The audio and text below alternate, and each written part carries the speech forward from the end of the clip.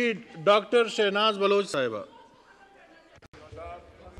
बिस्मिल्लाहिर्रहमानिर्रहीम। अ, मैं समझती हूँ जो औरत का मुकाम है वो हमारे हमारे सामने बिल्कुल वाजे है। मैं शायद उन खवातीन में से हूँ कि बेनज़ीर भुट्टो से इंस, इंस्पायर होके आज मैं असम्बली में आई हूँ। गो कि मैंने 40 साल बलुस्तान के मेरा प्रोफेशन एज ए प्रोफेसर 40 साल। कोई गाँव, कोई शहर छोटे से बड़ा बलुस्तान का नहीं है, जहाँ पे मेरे हाथ से डॉक्टर ना पैदा हुआ हो, या मेरे हाथ से कोई डिलीवरी ना हुई हो, या कोई मेरे हाथ से ऑपरेशन ना हुआ हो। लेकिन सब चीज़ों के बावजूद, सही कहा बहनों ने मैं अपनी प्रैक्टिस छोड़ के, सब कुछ छोड़ के इस ऐवान में आई हूँ। सिर्फ़ इसलिए कि मैं मज़ीद बलुस्तान के लिए कोई काम कर सकूँ। लेकिन मुझे बताएँ, अभी कल से माइनस पे माइनस पे टेम्परेचर हो गया बल, कोयटा का। रहने की जैसे नहीं है, बिजली वहाँ नहीं है, गैस वहाँ पे नहीं है, लकड़ी नहीं इस्तेमाल हो सकती। कोयला नहीं जलाया जा सकता क्योंकि वो सारा एक सिस्टम ही कोलैप्स है।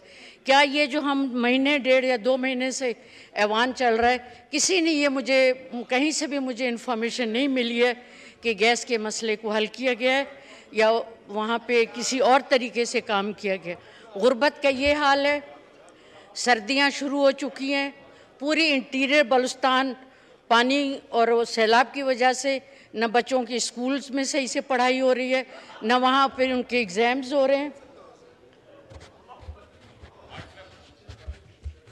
बलुस्तान की बात बात नहीं सुनना चाहते हो तो मैं बैठ जाती हूँ आप बात मुकम्मल करें।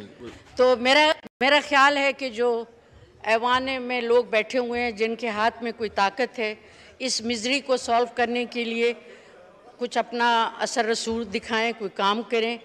जहाँ चमन की बात हो रही है जब चमन में ये सारा मसला हो जाता है तो पूरा कोयटा ब्लॉक हो जाता है। हर चीज़ हर चीज़ का ट्रांसपोर्ट, आना जाना, सर्विसेज़, पेशेंट, सब चीज़ें जो है ना वहाँ पे स्टैंड स्टिल हो जाता है। तो ये सिर्फ़ चमन की बात नहीं है, कोयटा में भी उसका इफ़ेक्ट आ जाता है। ज़ाहिर बलुस्तान में भी आता है, पूरे पाकिस्तान में भी आता है।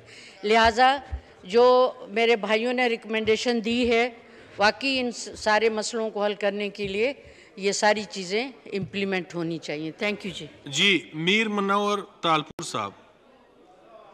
तालपुर साहब